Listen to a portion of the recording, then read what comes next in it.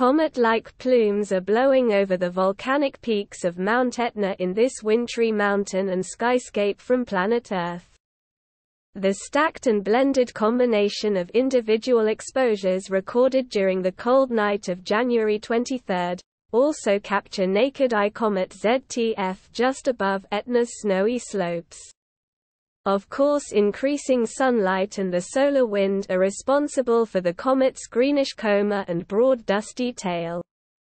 This weekend Comet ZTF is dashing across northern skies between North Star Polaris and the Big Dipper. From a dark site you can only just spot it as a fuzzy patch though. That's still an impressive achievement if you consider you are gazing at a visitor from the distant Oort cloud with your own eyes. But binoculars or a small telescope will make for an even more enjoyable view of this comet ZTF in the coming days.